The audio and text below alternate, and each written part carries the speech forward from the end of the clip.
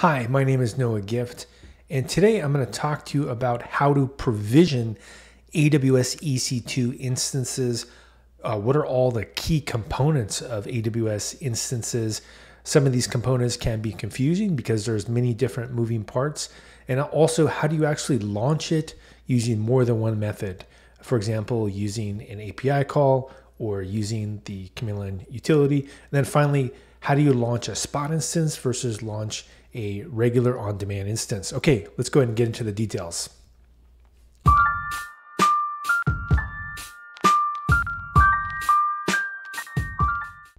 All right, let's talk through the key components involved in provisioning Amazon EC2 instances. There's actually a lot of detail that is easy to gloss over. First up, on the left here, we have this concept of a security group. And this is the firewall for your instance. It is where you explicitly control the input and the output to your machine or even other security groups that you'd like to communicate with.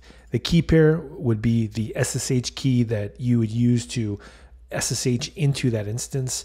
You would also need to have port 22 available from the security group as well the Amazon Machine Image or AMI uh, is a Amazon image that uh, it typically is prepared for you through a quick start, for example, Amazon Linux 2 or Windows or OS 10. But there also are uh, community images or your own images. The instance type, these would be the kind of EC2 instances you'd like to launch, maybe a CPU heavy or a memory heavy or GPU heavy. And then there's also the concept of on demand, which is the the typical way that most people launch or their spot, which can save you up to 90%. And it's one of the reasons why I like spot instances so much.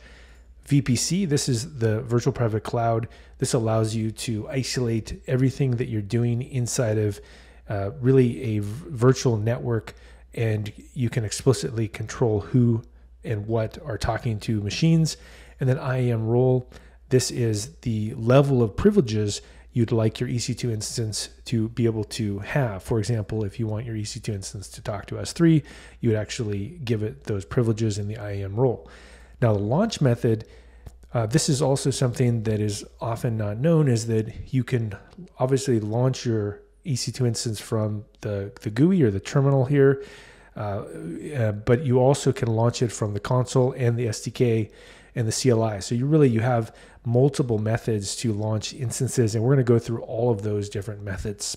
Okay, let's go ahead and get started here and get into AWS, and we see the console. Right, this is really where most people start off.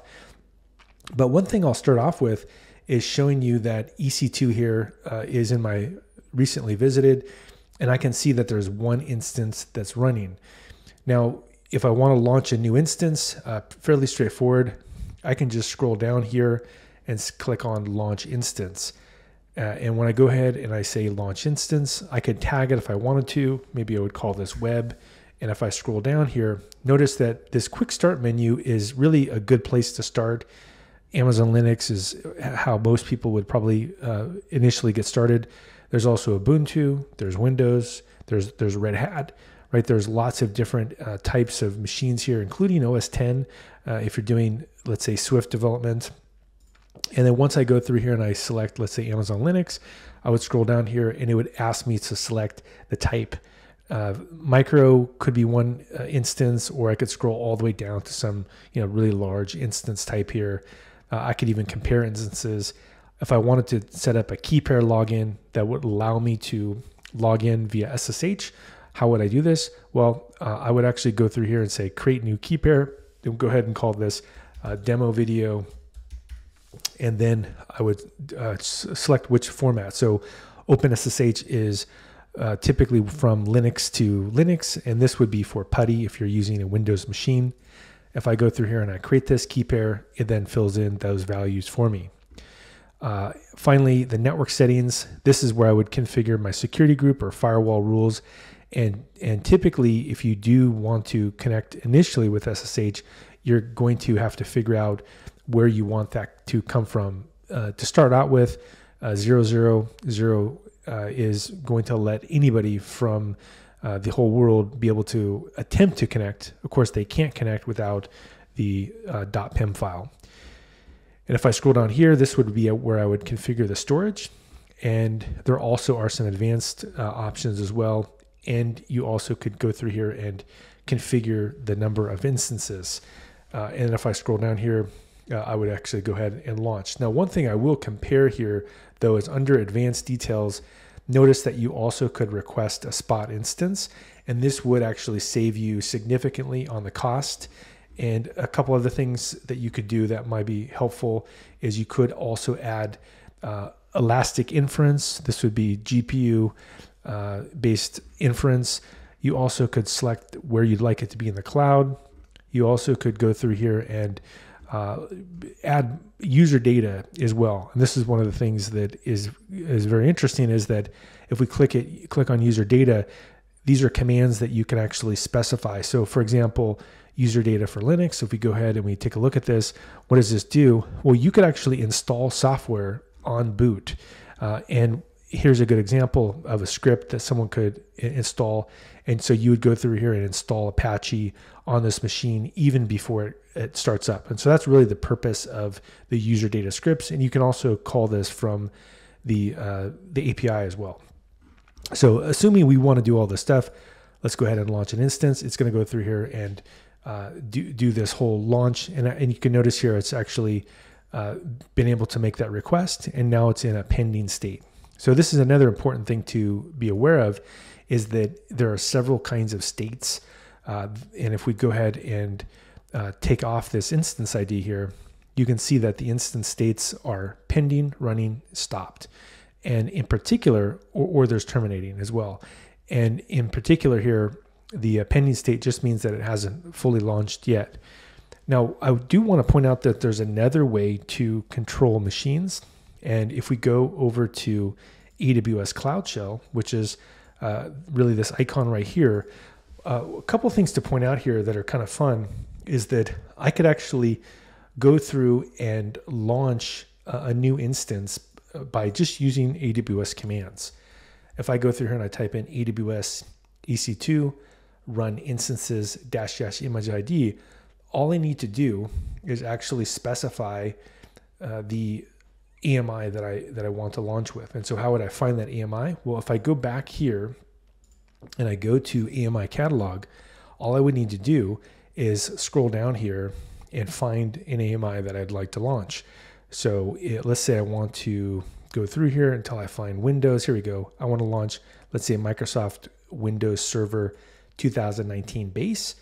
I would go ahead and grab this AMI uh, ID, and then I would go back to my terminal here and I would paste it in. So this would work for any AMI that you're launching.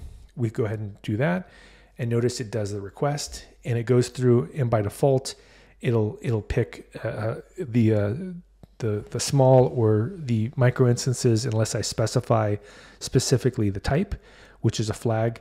And once I've done this this will go through and make the request. And I could actually go back to the instances here and, and look there's another one pending right so it shows up right here so you could launch it from an SDK. You can launch it from the CLI, and you can also launch it from the terminal. Now, notice that this uh, particular instance that I had launched earlier is ready to go. So let's go ahead and click on that instance ID here. And now, how would I connect to this? Well, fortunately, you can connect to it right from the UI here.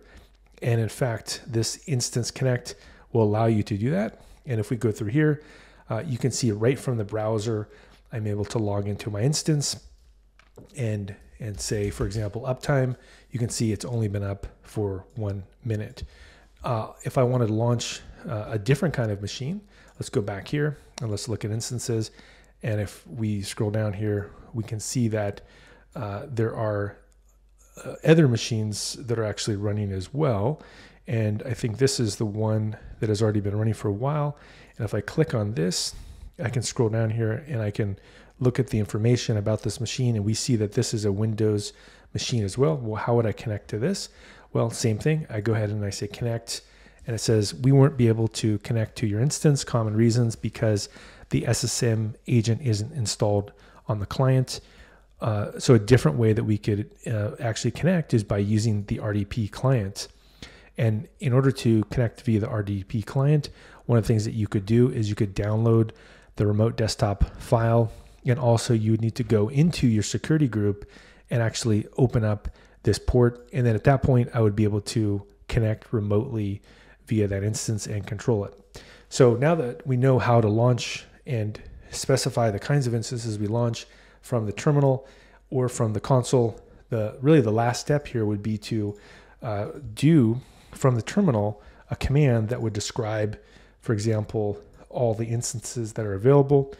And if I go through here and I say AWS EC2 described instances filter, uh, and, and, we don't have to actually do a filter. We could just say describe all the instances, and it would go through here and it would tell me every single instance that's actually running.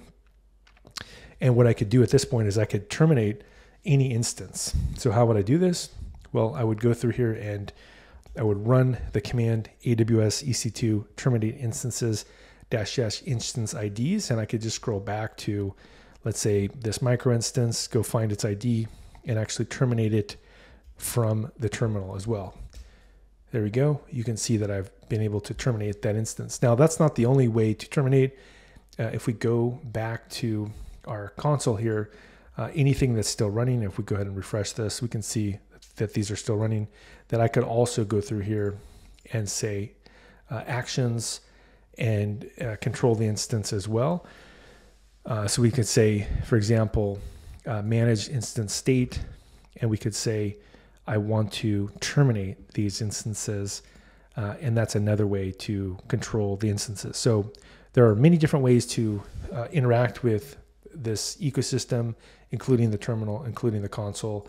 And if we go back to this diagram right here and take a look at it, you know, a few key takeaways are that we were able to touch on all of these different methods from the security group, the firewall rules, the key pair, this is the SSH connection, the AMI, this is the kind of machine, the instance type, the on-demand versus spot, the virtual uh, private cloud, which is controlling who can talk to what, the privileges for for the uh, ability to talk to other parts of AWS, also the launch method.